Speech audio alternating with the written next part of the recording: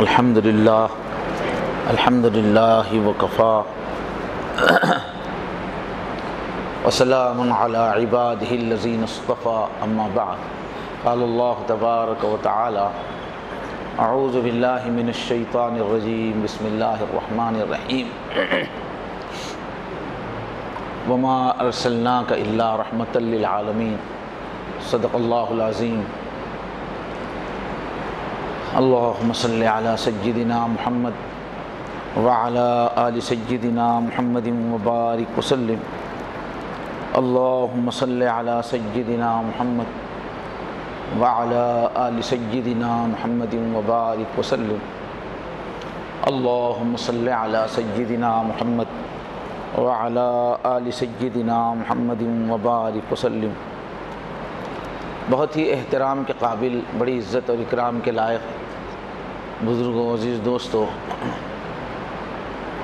ये रबीउल अव्वल के महीने की शुरुआत हो चुकी है, जो नबी नबी करीम सल्लल्लाहु अलैहि वसल्लम की पैदाइश का महीना है। उसी की मुनासबत से इस महीने में कुछ बयानात हुजूर की सीरत पर, आपकी शख्सियत पर, आपके पैगाम पर होते हैं। गुज्त आपने दो जुमा मुस्बत सोच, अक़ल का सही इस्तेमाल। पॉजिटिव थिंकिंग के बारे में दो बयानात आपने सुने उसी की एक कामिल शक्ल है, रहमत। कि जब सोच जो है एकदम मुस्बत हो जाती है तो आदमी सबके लिए एक रहमत का फरिश्ता बन जाता है। खूबियाँ देखने वाला और अच्छा ताल्लुक़ सामने वालों से बनाने वाला अच्छा रवैया इख्तियार करने वाला, हर एक से अटैच होने वाला इंसान बन जाता है। अल्लाह ताला ने अपने नबी हज़रत मोहम्मद सल्लल्लाहु अलैहि वसल्लम को बेहतरीन ज़िंदगी अता फ़रमाई, नमूने की ज़िंदगी अता फ़रमाई और क़यामत तक के लिए ऐलान फरमा दिया कि जिस जिस को जन्नत में आना है और हमेशा हमारे साथ, अल्लाह के साथ रहना है तो हमको जो कैरेक्टर पसंद है, वो मोहम्मद रसूलुल्लाह सल्लल्लाहु अलैहि वसल्लम का उस कैरेक्टर को इख्तियार करोगे तो तुम मेरे महबूब बन जाओगे, लाडले बन जाओगे। कुल कुन, कुल इनकुन तुम तहब्बून अल्लाह फतबनी यहबिबकुमुल्लाह। मेरे नबी की पैरवी करोगे तो लाडले बन जाओगे। तो नबी पाक सल्लल्लाहु अलैहि वसल्लम की ज़िंदगी में, आपकी सीरत में, हर एतबार से खूबी है, कमाल है। ज़रूरत इस बात की है कि बराबर उसको हम पढ़ते रहें, सुनते रहें और अपनी ज़िंदगी में इख्तियार करते रहें। ख़ास तौर पे इस ज़माने में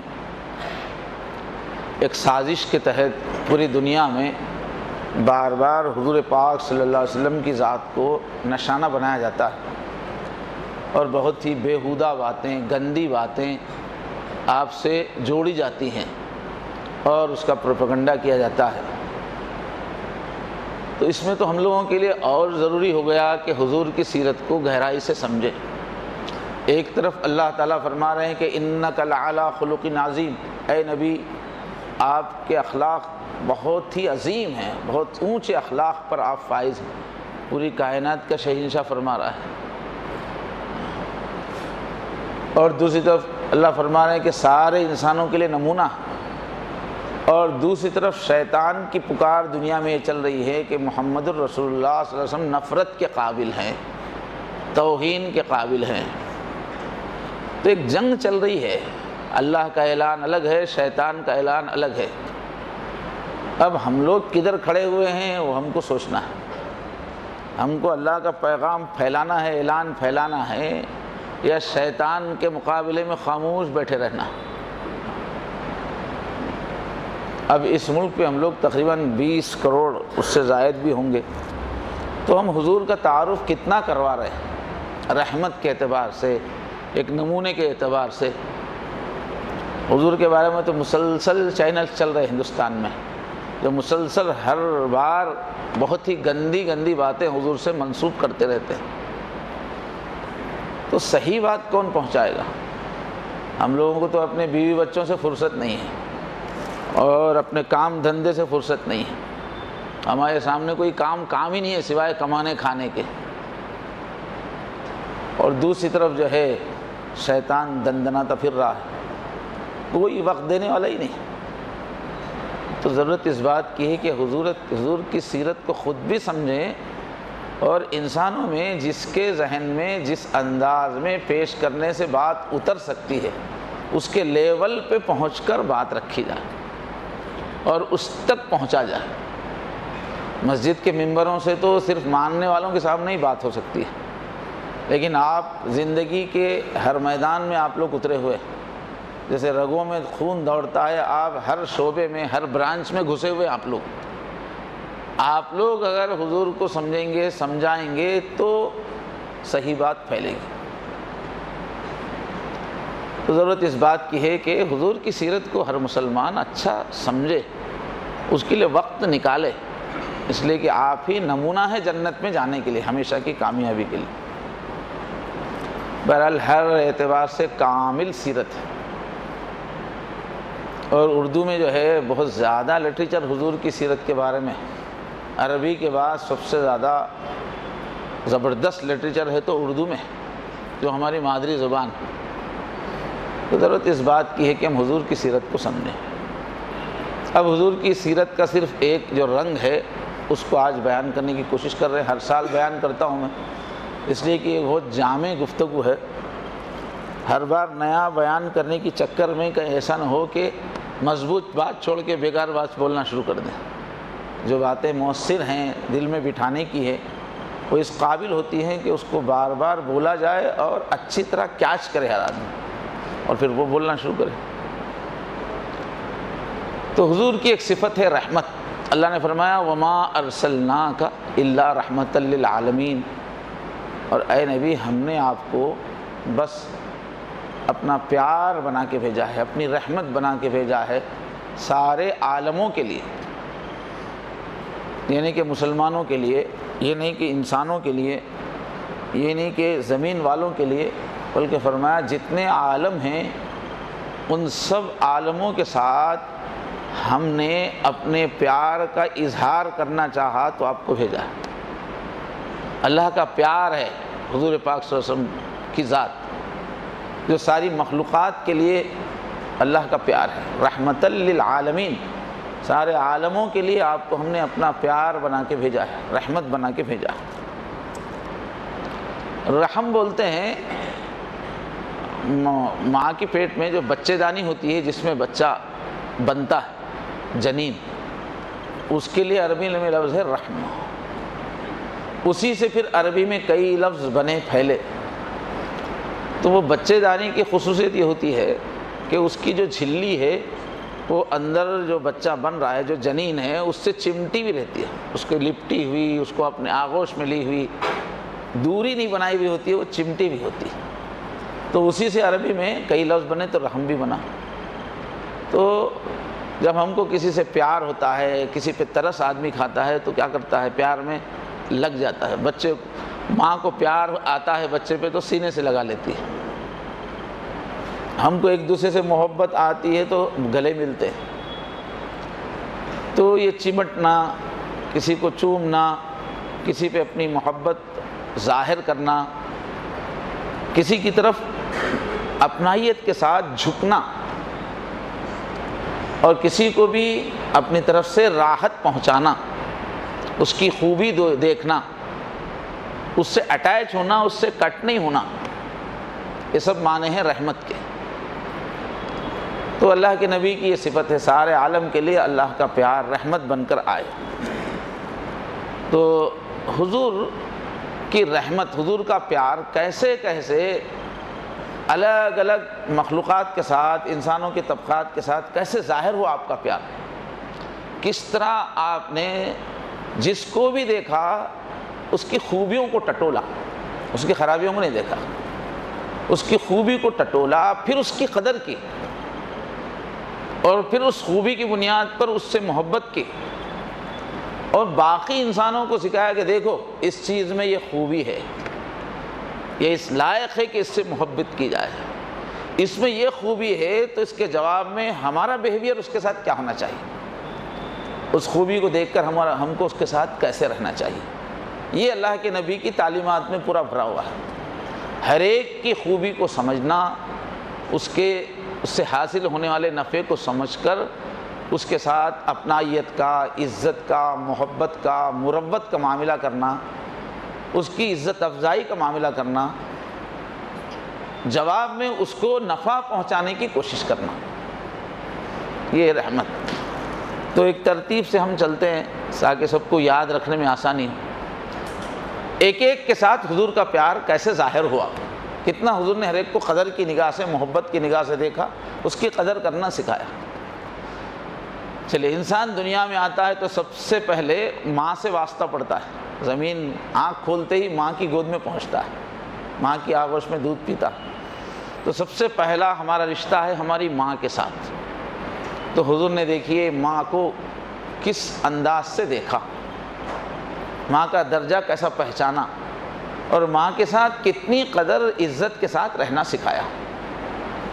तो हुजूर अकरम अलैहि वसल्लम ने माँ को क्या फरमाया कि, अलजन्नत तख्ता अकदामिल उम्महात। कि तुम्हारी माँ का तुम्हारे लिए क्या मुकाम है वो मर्तबा है? फरमाया कि तुम्हारी माओं के कदमों के नीचे ही तुम्हारी जन्नत है। बहुत ऊँची ताबीर है। यानी ये फरमाया कि तुम माँ के कदमों में बिछ जाओ। माँ के सामने तुम मिट्टी बन जाओ। माँ के सामने तुम अपनी पूरी अना को ख़त्म कर दो। माँ के सामने तुम अपने आप को फना कर दो। वो मर्तबा है माँ का। तो तुमको फिर माँ के कदमों में तुम बिछ जाओगे, उसका दिल जीतोगे, उसकी खिदमत करोगे, अपने आप को मिटा दोगे तो वहीं तुमको जन्नत मिलेगी। इतना बड़ा दर्जा है कि अगर जन्नत चाहिए तो कहाँ ढूंढो, माँ के खदमों में जाके ढूंढो। ये बहुत ऊँची ताबीर। चुनाचे बाकी सारी तालीमत इस्लाम की ऐसी है कि बहुत, माँ का बहुत बड़ा दर्जा। एक साहब ने आके हुजूर से पूछा, अल्लाह के नबी, मैं किसी की खिदमत करूँ तो सबसे बड़ा दर्जा किसका है दुनिया में? कि मैं उसकी खिदमत करूँ। तो हुजूर ने फरमाया, माँ का दर्जा। फिर थोड़ी देर के बाद जो है, फिर उन्होंने पूछा, या अल्लाह या अल्लाह के रसूल, फिर फिर माँ के बाद किसका दर्जा है कि मैं उसकी खिदमत करूँ? तो हुजूर ने फरमाया, माँ का। दूसरी बार भी। फिर उन्होंने पूछा कि अल्लाह के नबी, माँ के बाद फिर किसका दर्जा है कि मैं खिदमत करूँ? तो फरमाया, माँ का दर्जा फिर चौथी बार जब पूछा, अल्लाह के नबी, माँ के बाद किसका दर्जा है? तब फरमाया, बाप का दर्जा। तो इतनी ज़्यादा इज़्ज़त अल्लाह के नबी सल्लल्लाहु अलैहि वसल्लम ने माँ को दी। हालाँकि आप जिस सोसाइटी में पैदा हुए थे, अरबस्तान में, वहाँ माँ की बिल्कुल इज़्ज़त नहीं थी। इसलिए कि वो जंगों का माशरा था। हमेशा वहाँ जंग चलती रहती थी। जंग में मर्दों की ज़रूरत पड़ती थी। इसलिए माँ की बड़ी बेइज्जती थी वहाँ। एक एक आदमी की कई कई बीवियाँ होती थी। दस पंद्रह जितनी चाहे होती थी। और औलाद के दिल में माँ का कोई मुकाम नहीं होता था। बाप के इंतकाल के बाद बेटे जिस तरह से बाप की जायदाद बांटते थे आपस में, उसके ऊँट बांट लेते थे, उसकी बकरियाँ बांट लेते थे तो बाप की छोड़ी हुई बीवियाँ भी आपस में बांट लेते थे और बीवी की तरह इस्तेमाल करते थे। इतनी गिरी हुई हालत थी। इस माशरे में जहाँ माँ को कुछ समझा ही नहीं जाता था। अल्लाह के नबी ने फरमाया कि बाप से तीन गुना ज़्यादा हक़ है माँ का, खिदमत में। बाप का नंबर आएगा चौथे नंबर पर, असल है माँ। मगर ये जो है, खिदमत में है, सबसे बड़ा दर्जा खिदमत में माँ का। जहाँ इतात की बात आएगी, फर्माबरदारी करने की बात आएगी तो बाप का दर्जा नंबर एक पे। क्योंकि अल्लाह ताला ने मर्दों को ज़्यादा मज़बूत अक़ल दी है, ज़्यादा ज़िंदगी का तजुर्बा होता है तो इतात में तो बाप का दर्जा ज़्यादा है। मगर ऐसा नहीं कि बाप को राज़ी करके माँ को नाराज़ कर रहे हैं, माँ को भी राज़ी करते हुए इतात ज़्यादा बाप की की जाए। मगर खिदमत माँ की ज़्यादा इसलिए कि माँ बहुत खिदमत करती है, बाप क्या खिदमत करता है माँ के मुकाबले में?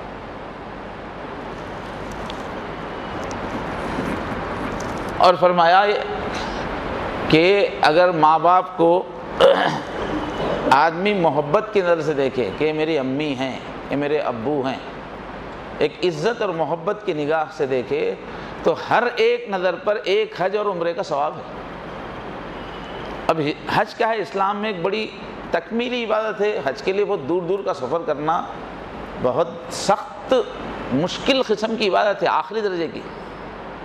बहुत लंबा सफ़र होता है उसमें। पहले ज़माने में तो चूँकि ऊँटों से सफ़र होता था, बहुत मुश्किल होता था हज। उस ज़माने में हुजूर फरमा रहे हैं कि एक हज और उम्र करने का सवाब सिर्फ़ एक बार मोहब्बत से देखने में होता है। तो बहरहाल, माँ का बहुत बड़ा दर्जा है, इसको हमको याद रखना चाहिए। और हर हाल में जब तक किसी की माँ ज़िंदा है, समझो कि अल्लाह की रहमत लेने का ज़रिया हमारे पास मौजूद है। और बाप है, उसके बाद हमारी ज़िंदगी में जो शफ़क़त, मोहब्बत, हमारी परवरिश का जो ज़रिया है, बाप है। उनको हुजूर ने बाप को किस निगाह से देखा फरमाया, अल अब अवसत अफवाबिल जन्ना कि जन्नत में जाने के आठ दरवाज़े लेकिन जो मेन गेट है, दरमियान वाला, जिसकी गुंजाइश बहुत ज़्यादा है, जिसमें ज़्यादा लोग दाखिल होते हैं उस, वो फरमाया कि बाप जन्नत का दरमियानी दरवाज़ा वो जो मेन गेट है, वो बाप है।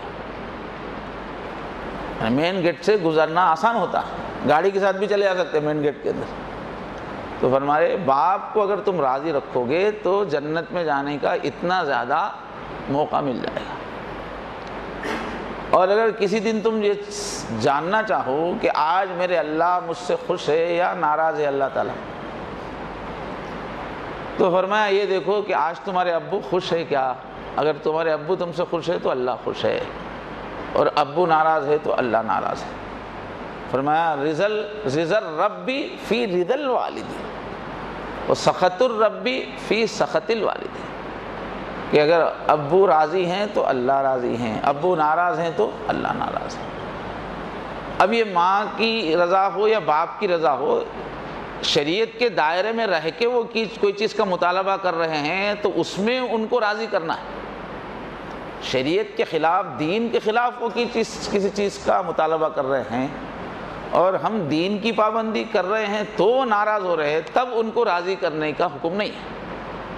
इसलिए कि अल्लाह की हुक्म के सामने फिर किसी की रज़ा नहीं सबसे बड़े हमारे मोहसिन तो अल्लाह हैं।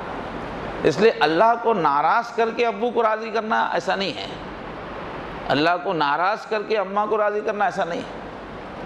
मगर अल्लाह के हुक्म से टकराता हुआ नहीं है, वो कोई दूसरा कोई मामला है जिसमें माँ कुछ चाह रही बाप कुछ चाह रहे तो फरमाया कि अल्लाह की रज़ा तुमको ढूंढना है तो अब्बू को राज़ी रखो, अल्लाह राज़ी। अब यहाँ पर और एक नुकता भी बयान करना ज़रूरी है।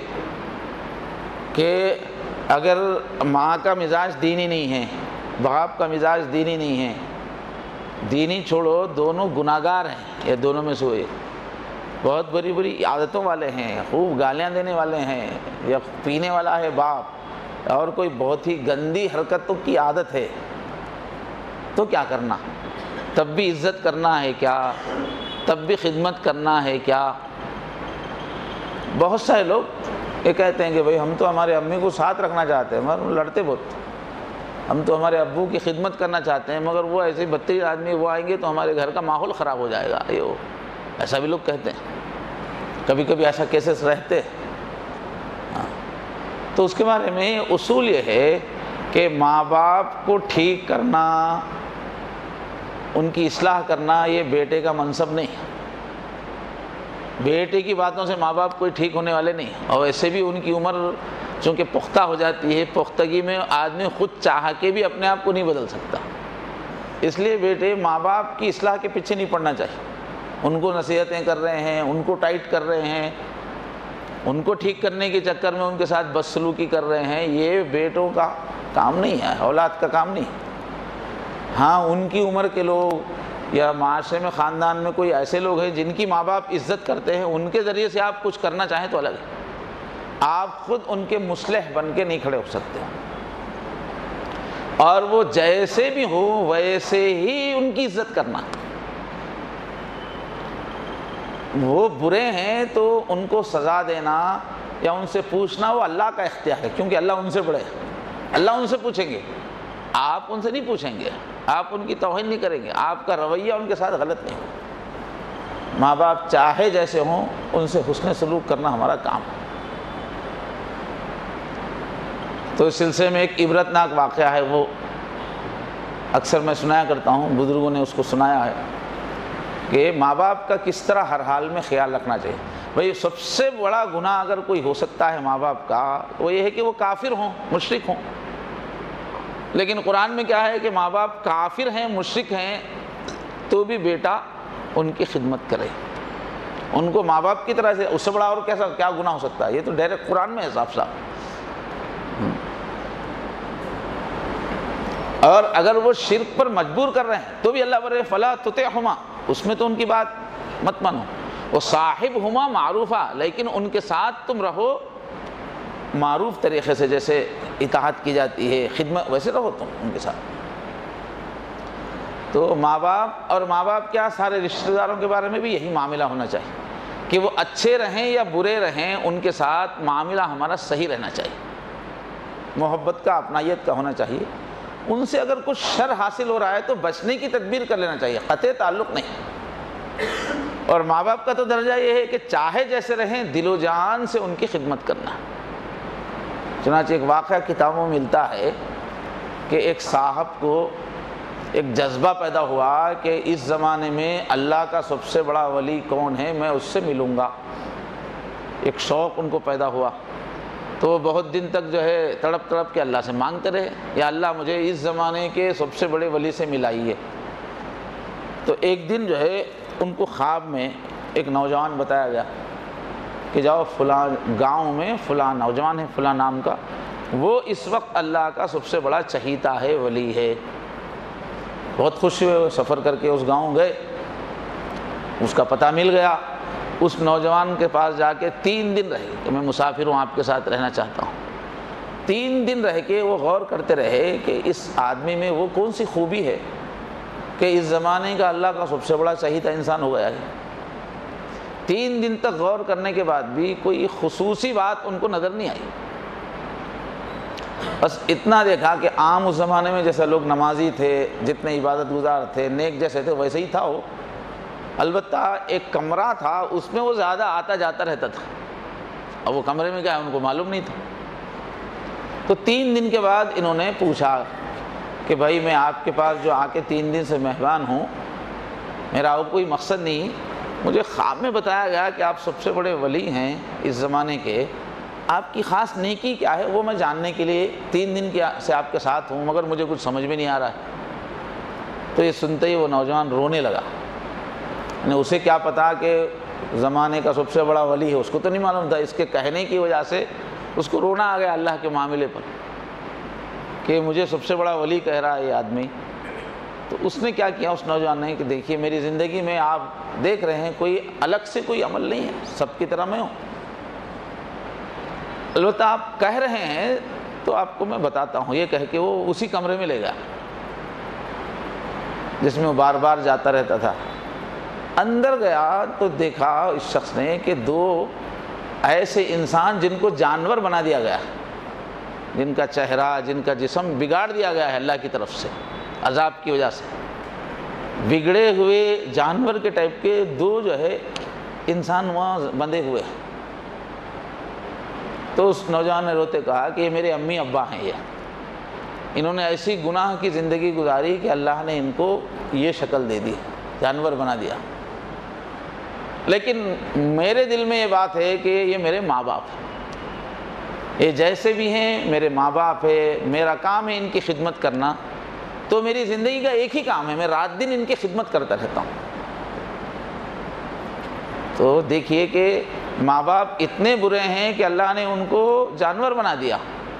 लेकिन उन्हीं बुरे माँ बाप की खिदमत करने वाले बेटे को अल्लाह ने सबसे बड़ा वली बना दिया, वली मान लिया। तो ये दो बातें अलग है। किसी के माँ बाप ख़राब हैं, जो भी हैं, वो उनका उनके अल्लाह का मामला है। तुम्हारे तो माँ बाप है वो। तुम्हारा काम है कि उनकी खिदमत करो, उससे अल्लाह इतने खुश होते हैं। बहरल माँ बाप का बड़ा ख्याल रखना चाहिए। ये जो ज़माना आया है, मौजूदा दौर है, इसकी ख़ास ख़राबियों में पहली ख़राबी हुजूर ने बताई है कि बच्चे माँ बाप के नाफरमान हो जाएँगे। क़ुरब क़्यामत की निशानियाँ हुजूर से पूछी, हज़रत जब्राइल से पूछी गई। हुजूर ने पूछा, हज़रत जब्राइल से तो पहली निशानी यही बताई, हज़रत जब्राइल ने। कि क़ुरब क़्यामत का जो ज़माना आएगा, उसमें औलाद माँ बाप की नाफरमान हो जाएगी। इसलिए इस ज़माने में माँ बाप की नाफरमानी से बचने का अहतमाम होना चाहिए। और दूसरे फरमाया, लोग माँ बाप से दूरी अख्तियार करेंगे, बीवियों की को राज़ी रखने की कोशिश करेंगे। बीवी की बात ज़्यादा सुनेंगे माँ बाप को नाराज़ करेंगे। इसलिए ख़ास तौर पर चौकन्ना रहना चाहिए कि कहीं इस ज़माने की ये बीमारी मेरे अंदर तो नहीं आ रही। और माँ बाप जैसे भी हो, उनके साथ हुसन सलूक, अदब, एहतराम करना चाहिए। कुरान मजिद में ला तकुल्लहुमा उफ। उफ भी नहीं करना उनके सामने। ख़ास तौर पे जब बूढ़े हो गए माँ बाप तो जब आदाब बहुत बढ़ जाते हैं। माँ बाप अभी जवान हैं, अधेड़ हैं उस वक्त तक उतनी अहमियत नहीं है जितने कि बूढ़े माँ बाप की खिदमत और इज़्ज़त की बहुत अहमियत है। इसलिए कि जब माँ बाप बूढ़े हो जाते हैं तो आपको उनकी कोई ज़रूरत नहीं रहती, उनके पैसे की ज़रूरत नहीं है, उनकी खिदमत की ज़रूरत नहीं है, ना वो पैसा दे सकते, ना खिदमत कर सकते आपकी, वो लाचार हो गए। अब वो एक बोझ बन गए हैं घर के लिए। उनसे कुछ नहीं मिल रहा है घराने को अब, वो बोझ बन गए। फिर उसके बाद उसी उम्र में वो चिड़चिड़े हो जाते हैं। बात बात पे नाराज़ होना, उल्टी ज़िद लेके बैठ जाना। उल्टी ज़िद लेके बैठ जाते हैं बूढ़े होने की वजह से। अकल टेढ़ी हो जाती है हर इंसान की बुढ़ापे में। तो वो बच्चों को उल्टी बातें बोलते हैं, उस पर ज़िद लेके बैठ जाते हैं, रुस जाते हैं। फिर उसके साथ साथ बीमारियाँ एक परेशान करती हैं। हमेशा उनका ख्याल ले जाओ, हॉस्पिटल ले जाओ, और फिर ज़्यादा बूढ़े हो जाएँ तो उनकी ज़रूरियात का, उनकी सफ़ाई का इंतज़ाम। तो उस वक्त बिल्कुल हसास हो जाना, उनको तकलीफ़ पहुँचाने वाला कोई अमल नहीं करना। चेहरे से, किसी चीज़ से पता ना चले कि हमारा बच्चा हमको बोझ समझ रहा है। तो उफ़ की तशरी में साहबा ने फरमाया कि अगर वो बेजा डांट रहे हो, उल्टी बात कर रहे हैं, तुम बर्दाश्त तो कर रहे हो, लेकिन बर्दाश्त करते करते रिएक्शन जरा सांस फूल रही तुम्हारी। मुँह से तो कुछ नहीं बोल रहे, मगर ऐसा अंदर से आ रही तुम्हारे ये क्या बोल रहे हैं? ये क्या उल्टी बात बोल रहे हैं? तो सांस की तुम्हारी जो रफ्तार है, उसमें भी फ़र्क आ जाएगा तो माँ बाप समझेंगे कि बच्चा नाराज़ हो रहा है। तो तेज़ सांस भी नहीं निकालना उनके सामने। उनको पता ही ना चले कि तुम अंदर से बोझ महसूस कर लो इतना एहसास करना। तो बहुत बड़ी चीज़ है माँ बाप एक मदर, नज़र में देखना हज और उम्र का स्वभाव तो कितना बड़ा ज़रिया दिन में आदमी सौ बार देख सकता है। सौ हज करना किसी के लिए मुमकिन है क्या? लेकिन दिन में सौ बार वो स्वाब कमा सकता है, अगर अपनी अम्मी अब्बा को मोहब्बत से देखे। तो ये बहुत बड़ा ज़रिया है, जिनके माँ बाप ज़िंदा हैं, बहुत किस्मत वाले हैं वो। रोज़ाना सवाब लूट सकते हैं वो। मगर शरीयत की पाबंदी होना, शरीयत की पाबंदी है नमाज़ गायब है, असल दिन गायब है, सिर्फ़ माँ बाप की सुन रहे तब नहीं मिलेगा। ज़रूरी दीन के साथ है सब। दीन की ज़रूरी अहकाम की पाबंदी के साथ फिर वो दर्जा। उसके बाद जो है, अरब के माशरे में सबसे ज़्यादा गिरी पड़ी जो चीज़ थी, लड़कियाँ। बेटियों को लोग बहुत बोझ समझते थे।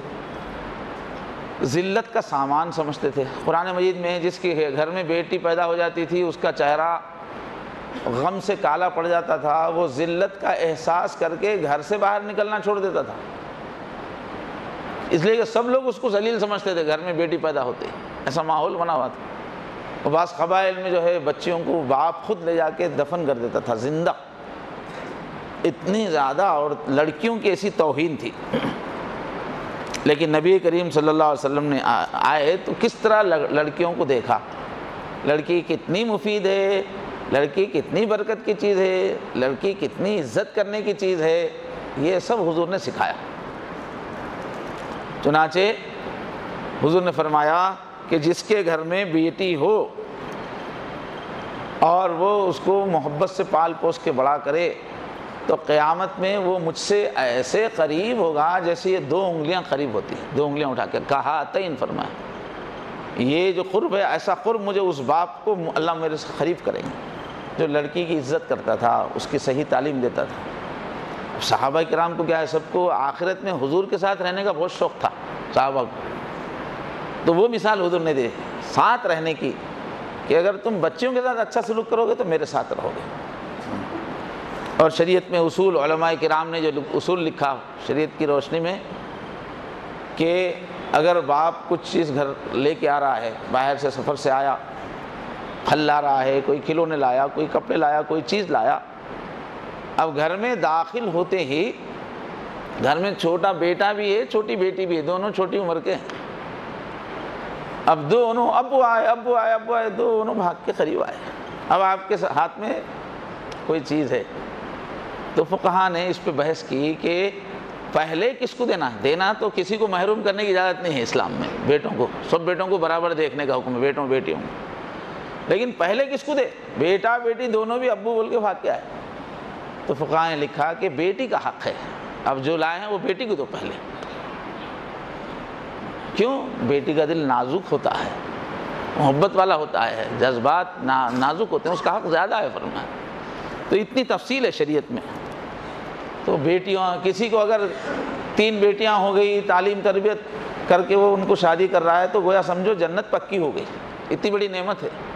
बेटियों को देख के समझना हमारी जन्नत का इंतज़ाम हो गया। मगर हम वो बेटियों को ही ऐसी तालीम दे रहे कि वो खुद दो जखी बन रही है तो फिर हमको जन्नत में क्या ले जाएगी? तालीम तरबियत हम ऐसी दे रहे हैं कि खुद दो जखी बन रही है तो हम अपनी बच्ची का भी आखिरत बर्बाद कर रहे हैं, हमारी भी कर रहे हैं। लेकिन सही तालीम देते हुए हमको बड़ा करेंगे तो बच्चों को पालना जन्नत में जाने की ज़मानत है। उसके बाद है बीवी। तो अरब के माहौल में बीवी की भी बड़ी तोहन होती थी। बीवी का भी कोई मुकाम नहीं था वहाँ। जैसा कि अभी अर्ज़ किया एक एक आदमी की कई कई बीवियाँ होती थी। आराम से शादी करते थे, जब चाहे छोड़ देते थे। क्योंकि सोसाइटी में मर्दों की बहुत अहमियत थी। मर्दों से ही कबीले की इज़्ज़त होती थी, जंग होती थी तो मर्द की तो औरतों को उल्टा संभालते फिर फिरना पड़ता है, बचाते फिरना पड़ता था। तो बीवी का कोई मुकाम नहीं था। कोई हक ही नहीं माना जाता था बीवी का। तलाक देने पे आए तो एक एक साथ पाँच हज़ार तलाक, ऐसा बोल देता था। हज़ारों तलाक दे देता था जलील करने के लिए। फिर छोड़ता भी नहीं था, बीच में लटका के रखता था। तो वो मर्दों को सज़ा देने के लिए है कि तीन से ज़्यादा तलाक दोगे तो फिर वो औरत तुमको नहीं मिलेगी। वो मर्दों की सज़ा थी उस ज़माने के हिसाब से। तीन बार ही देने का मौका है, वो भी एक साथ नहीं। तीन बार अगर तुमने दे दिया किसी को तो फिर तुम इस काबिल नहीं हो कि वह औरत को फिर लौटा सको।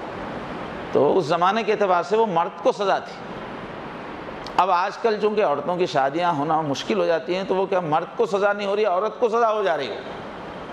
अमलन तकलीफ़ औरत को ज़्यादा पहुँच रही बहरहाल वो एक ज़िमनी मौजू है तो बीवी का कोई मुकाम नहीं था।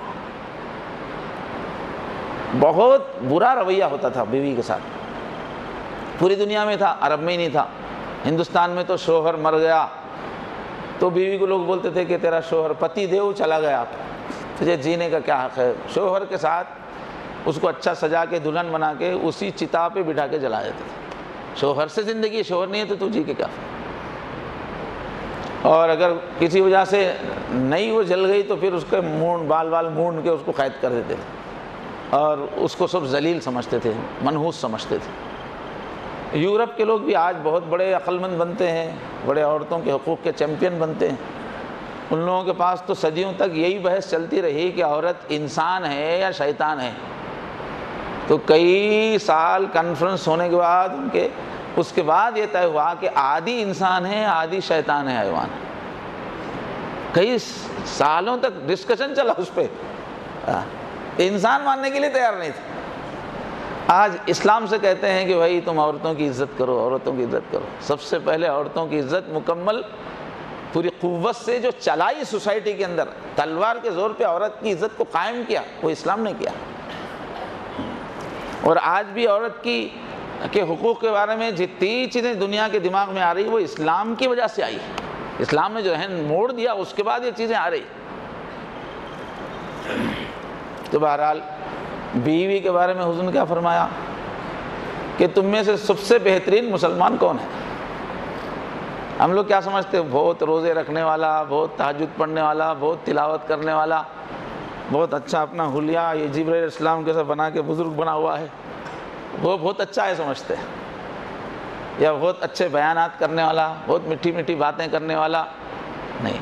हुजूर ने फरमाया, नहीं, सबसे बेहतरीन मुसलमान वो है जो अपनी बीवी के लिए सबसे बेहतरीन शोहर है। बीवी के साथ जो बहुत ज़्यादा मोहब्बत का मामला करता है, इकराम का मामला करता है, उसकी खिदमत का मामला करता है, उसको खुश रखता है, नरमी का मामला करता है, उसकी गलतियों को माफ़ करता है, उसके गुस्से को, उसके रूटने को बर्दाश्त करता है, जो जितना ज़्यादा बीवी के साथ कोई अच्छा है तो उतना ही वो अल्लाह की नज़र में अच्छा है।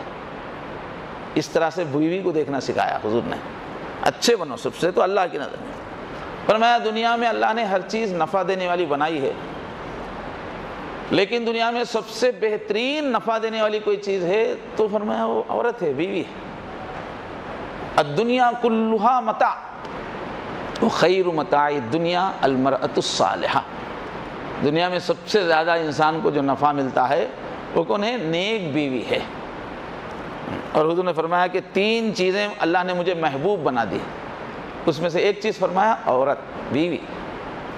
महबूब अल्लाह ने बनाया है।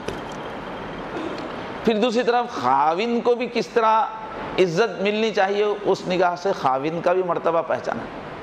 कि शोहर का भी कितना मर्तबा है, उसकी क़ुरबानी कैसी है ज़िंदगी के अंदर उसका पार्ट कितना अहम है, कैसे ख़तरनाक, मुश्किल ज़िम्मेदारियाँ उसके सर पर है, कितना उसको झेलना पड़ता है। तो औरतों को सिखाया, शोहर का दर्जा समझो, उसके मुकाम को समझो, उसके क़ुरबानियों को समझो, उसकी सख्त जिम्मेदारियों को समझो। तो एक जुमले में क्या फरमाया कि अगर किसी को सजदा करने की मैं इजाज़त देता। ये दीन तोहद है, अल्लाह के सिवा किसी के सामने सजदे की इजाज़त नहीं है।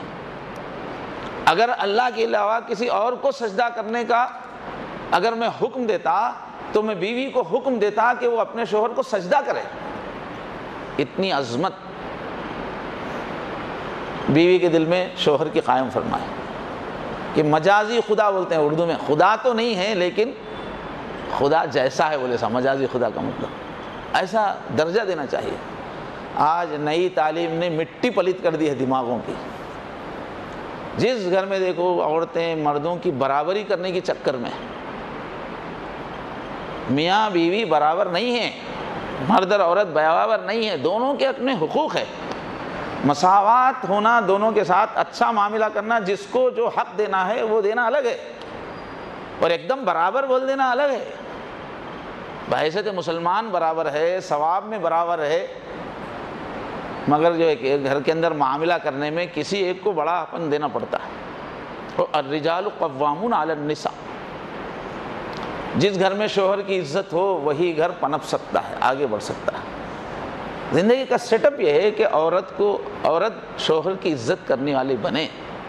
हम अपने बच्चों को बहुत अच्छी अच्छी डिग्रियाँ पढ़ा रहे हैं लेकिन हमने अगर शोहर की इज़्ज़त नहीं सिखाई तो उसकी ज़िंदगी का सुकून ख़राब हो जाएगा।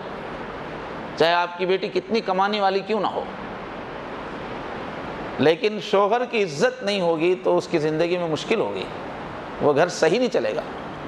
ज़रूरत यह है कि हम सब अपनी बेटियों को शोहर की इज़्ज़त सिखाएँ। मौका आने पर बीवी अपनी बात ना चलाए, शोहर की चलाए। बात चलेगी शोहर की, बीवी मशवरा देगी। बीवी नहीं, आपकी जितनी डिग्री, मेरी डिग्री, आजकल तो लड़कियों की डिग्री शोहरों से ज़्यादा है। जब देखिए अच्छा पढ़ाई में सब लड़कियाँ ही हैं। अब मुसलमानों में शादी करने में प्रॉब्लम यही हो रहा है कि बच्चियों के पास ज़्यादा डिग्रियाँ हैं, लड़के उतने हैं नहीं, डिग्रियों वाले। थोड़ा मसला हो जा रहा है। तो ये जहन बनाना ज़रूरी है लड़की का कि शोहर की इज़्ज़त ये अल्लाह चाहते हैं। ये ज़िंदगी का तकाजा है ये हकीकत है, ये सच्चाई है। शोहर की जिम्मेदारियाँ, शोहर का मैदान ऐसा है कि उसकी इज़्ज़त होनी चाहिए घर में। अब ये और बात है कि बाज़ शोहर ऐसे लड्डू किस्म के और ऐसे बेकार निकल जाते हैं कि वो अपनी नाअहली की वजह से अपना मुकाम गिरा लेते हैं। वो अलग अलग इनफराजी केसेस अलग। बाज़ घरों की औरतें इतनी समझदार होती हैं कि वाक़ता वो शोहर से ज़्यादा इज़्ज़त के काबिल हो जाती है। वो वो अलग अलग केसेस है वो। वो उमूमी नहीं है।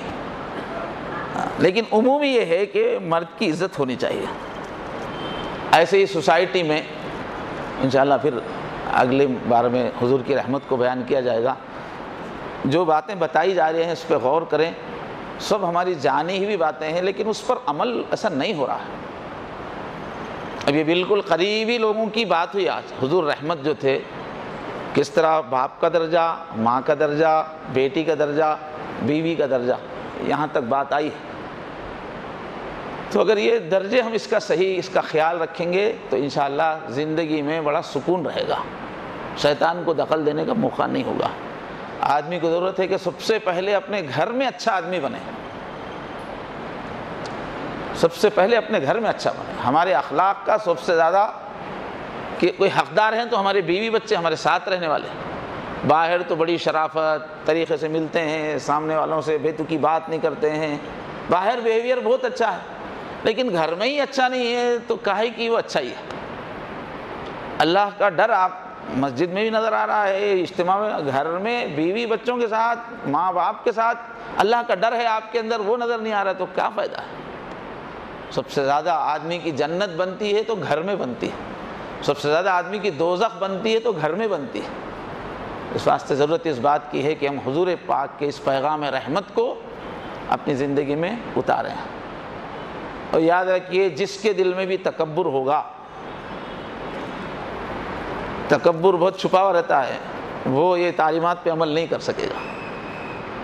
दिल में तकबर होगा तो आपके बीवी के साथ, बच्चों के साथ, रवैये में कहीं ना कहीं ज़ाहिर होगा। तकबर अपना असर ज़रूर दिखाता है।